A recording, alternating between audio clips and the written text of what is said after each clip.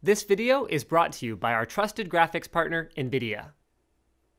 Welcome to my Battlefield 3 benchmarking guide, where it will be hosted by, not me, Slick hosts these, so you guys will be going along with him on a little run through. So we're not doing any performance results in this one, so the rig he's using is his personal rig, which is a 2600K and a 660 Ti. Actually, it's not this 660 Ti, it's some completely different one, so don't worry too much about that. But whatever frame rates you guys see, those are on random settings. We're not really standardizing anything, so don't worry too much about it. But he's also going to explain what happened with some frame rate dips that occur due to save games. So what we're showing you guys is the two minute run through that we use at various settings, usually on, I believe it's extreme preset or ultra preset or whatever the very highest one is, because Battlefield runs pretty darn well. It's ultra.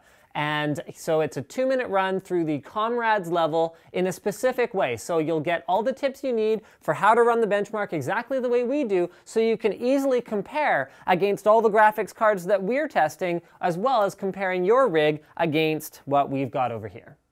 Alright, so after that really long cinematic, what we're going to do is just run up to this waypoint here and cut the wires inside the room.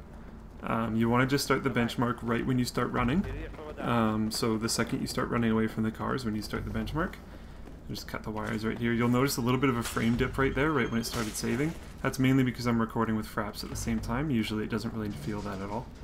Right here, I just walk behind uh, Vladimir here. I think his name's Vladimir and then the other guy kind of skirts around the left side. Wait for him to get a little bit in front of me and then I'll start running as well. I just don't want to actually run into anyone to make inconsistencies. I'm just going to take these guys out here. Oh, apparently he didn't die. There we go, taking him out. Now we're going to skirt around the right side of these pillars, consistent again. And then what you're mainly going to do here is just fight take everybody out. Um, this part can get a little bit hectic, but if you run it a few times, there is a bit of a rhythm to it. Uh, the enemies come out, like the, the guys that came out of the stairs right there, will come out from the stairs at the exact same time every time. Different people behind different pillars might slightly change, but the fight is generally similar. Stuff like that guy over there can be anomalies. He's not usually running there, but just make sure you take everyone out. You'll notice the saving point when everyone dies and then wait for them to get on each side of the door and then run through. Why that bike was there, I have no idea, but it's not really a big deal. Um, follow them down here. Then you'll notice three enemies coming up from the right side. Just fit yourself in between these two cars and take them out. The lights are really annoying, um, but they go in the same three fixed positions every time, so it's not really that big of a deal. Again, there's a little bit of a frame dip there, but that's mainly because I'm recording with Fraps at the same time and it went for a save. Just to make timing of the benchmarks consistent, at the very end, shoot these windows out. You don't want to run much further down because there's a rocket that'll come out and hit that pillar and that will make your benchmark inconsistent. So just sit up here and shoot the windows and then you're done.